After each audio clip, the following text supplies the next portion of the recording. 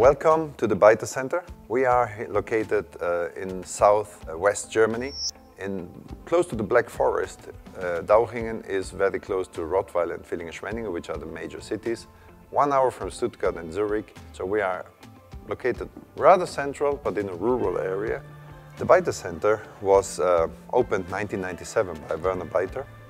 He built it and it was the first 70 meter hall in the world.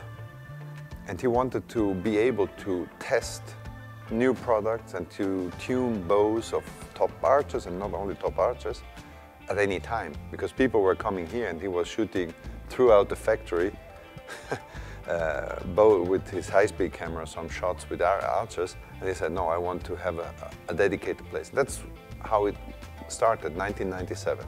We had people from all over the world.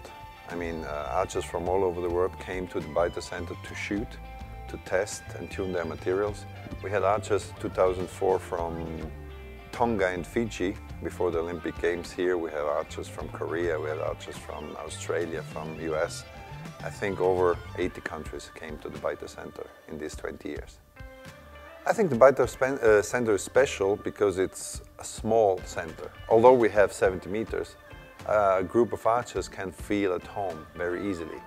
We have uh, not only targets to shoot, we have uh, high-speed cameras, we have cameras to analyze the shoot, we have all the Beiter products that can be tested at one place. So even if there are many other 70 meter halls in the world in the meanwhile, I think we are unique because you can do everything in here.